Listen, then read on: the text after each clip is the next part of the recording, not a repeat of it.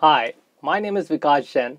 I am founder of therealeducation.com and a keynote speaker on Real Education of Top 10%. Today I am going to talk about that how you can utilize this lockdown time effectively for your professional development.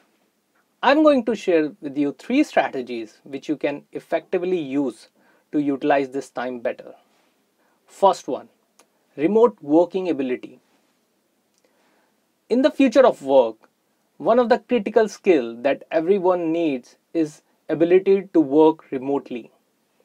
And it's not hard to understand why it's important. Now this lockdown time is not uh, actually a full lockdown time because we are able to connect. We are digitally connected.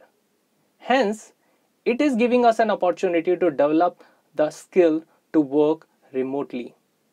If you are able to develop that skill consciously, it will help you in future.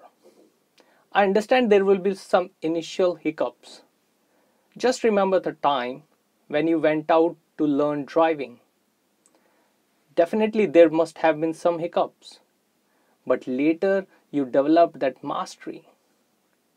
Now also, when you are working remotely, you will find some initial hiccups. They are bound to come. But sooner or later, you will develop the mastery over this skill.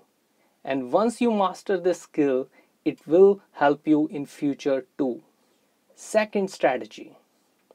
Because of this lockdown, you are saving your time which were earlier used for commutation. Now, what are you going to do with those additional hours in your life? You can utilize these additional hours to acquire industry relevant certifications and skills. You can go for e-learning courses. You can access the e-learning courses available on your corporate website and not just learn from it, you can also contribute to that content. Third strategy. I know that you are working from home and there are a lot many distractions at home. Though, in the given scenario, you need to develop the third skill, which is personal mastery. You need to develop a personal discipline and work ethics so that you can deliver effectively during this time too. If you utilize these three strategies, I'm sure it will help you in your personal and professional development. All the best. Be safe. Bye bye.